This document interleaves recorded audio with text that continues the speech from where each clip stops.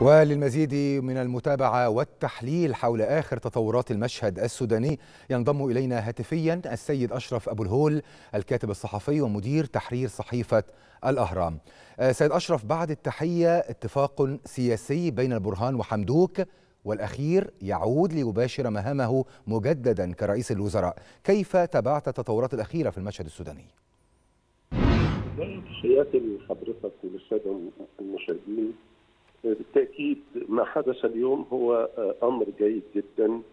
أخيرا استطاع السودانيون الاتفاق على يعني الابتعاد عن العنف والابتعاد عن تسوير الشارع. اتفقوا على التقاسم الحقيقي للسلطة أن تكون هناك شراكة حقيقية أن تدير السودان شؤون السودان حكومة كفاءات وليس حكومة يهيمن عليها. حزب أو عدة أحزاب وأيضا تعديل الوثيقة الدستورية حتى تضم جميع قوى الشعب السوداني وليس فقط قوى الحرية والتغيير كما كانت تنص الوثيقة السابقة.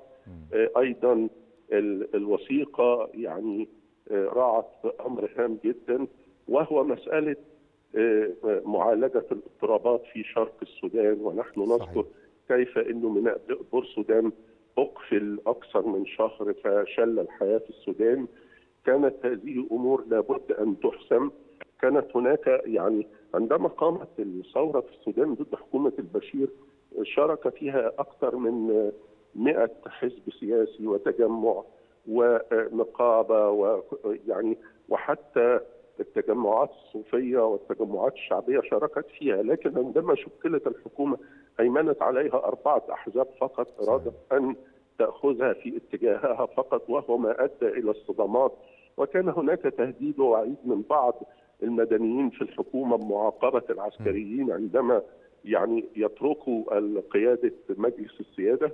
لكن الآن هناك شراكة حقيقية هناك رغبة حقيقية في أن يتفرغ كل طرف صحيح. للعمل الحقيقي المنوط به الحكومة حكومة الكفاءات حكومة التكنوقراط ستعمل على معالجة المشكلات الاقتصادية والاجتماعية ومجلس السيادة سيعمل على معالجة المشكلات الأمنية صحيح. ونحن نعلم أن السودان بلد لا يعيش في رفاهية صحيح. ويعاني كثير وهناك من معاناة اقتصادية يعني يعاني منها المواطن السوداني بشكل من كبير المعاناة الاقتصادية صحيح. هناك هناك يعني القوى التي تريد الانفصال والأقاليم التي صحيح. تتذمر واتفاق جوبا الذي لم ينفذ كل هذا كان يتطلب مثل هذه الخطوة يتطلب اتفاق شراكة حقيقي وليس اتفاق شراكة يمشي في مصلحة طرف واحد فقط. طب أستاذ أشرف يعني مصر سرعان ما أعربت مباشرة بعد توقيع هذا الاتفاق عن أملها في أن يكون اتفاق اليوم بمثابه خطوة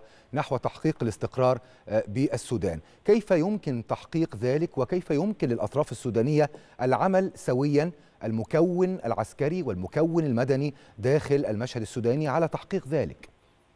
يعني اولا أعتقد إنه سيكون بالإمكان العمل سويا لأن هناك متغير جديد هذه المرة هو أن الحكومة ليست حزبية، الحكومة ليست جهوية، صحيح. الحكومة لا تسير في اتجاه إقليم دون إقليم أو حزب دون حزب وإنما حكومة تكنوقراط تعمل على حل مشاكل السودان من كل الاتجاهات. هناك شيء آخر هام جدا وهو إنه هذا الحل جاء بتدخل اقليمي وتدخل أفريقي وتدخل دولي وبالتالي هذه القوى ضامنا هذا الاتفاق. هناك يعني من يشجعك على أن تتحرك. هناك دول عربية كثيرة لديها استعداد لمساعدة السودان وهناك مجتمع دولي سبق أن عرض يعني إسقاط ديون عن السودان. الآن إذا عملت هذه الحكومة بشكل صحيح وعملت لصالح كل السودانيين سيساعدها الجميع. وبالتالي تحل المشاكل الاقتصادية والمشاكل الاجتماعية. هناك تطور آخر مهم جدا هو يعني قضية اتفاق جوبا الذي نص على إنهاء نزاعات منها نزاع دارفور على سبيل المثال. صحيح. وكان يتطلب دفع تعويضات لأبناء جوبا الذين تضرروا وسلبت ممتلكاتهم. في ظل الحكومة السابقة تعطل كل شيء. الآن يمكن للحكومة الجديدة أن تحل هذه المشكلات أن تفي بما تم الاتفاق عليه من بنود. وبالتالي يسير للسودان في في طريق الاستقرار صحيح. والتنميه الحقيقية لأن السودان أغنى دولة في أفريقيا آه، لديه قدرات و- كبيرة جدا ولكن للأسف لم تستغل بشكل أمثل وهناك نعم. بالطبع يعني تحديات كثيرة آه، يعني تواجه هذه الحكومة الجديدة. التحدي الأكبر والأبرز هو الحفاظ على وحدة السودانيين آه، بشكل أساسي. أشكرك شكرا جزيلا السيد أشرف أبو الهول مدير تحرير صحيفة الأهرام. كنت معنا عبر الهاتف.